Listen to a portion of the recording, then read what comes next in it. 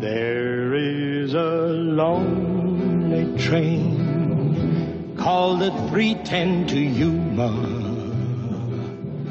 The pounding of the wheels is more like a mournful sigh.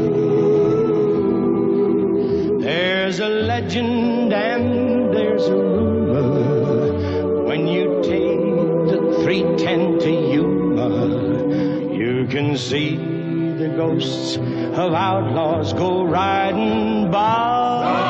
Riding by. In the sky. In the sky. Think you'll ever get back to Bisbee? Oh, don't look like it. I ain't complaining. I got something to remember.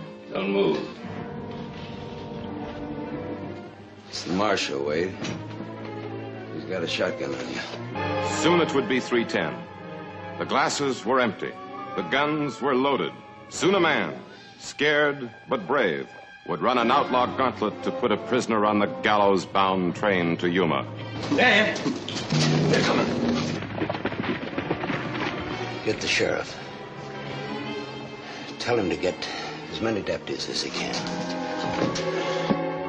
The sheriff's out of town. What? What do you mean he's out of town? He took a prisoner in Tucson. You know, when I was having supper at your house last night, I got to thinking maybe someday I'd like to have a wife. Must be real nice having a couple of boys like that to ride out with every morning. And then a woman like that every night. I told you before to shut up. Now you say just one more word and I'll cut you down now. Don't go through with it, dear. No, I've got to.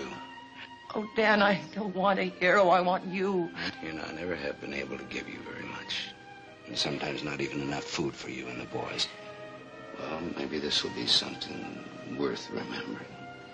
What are you saying?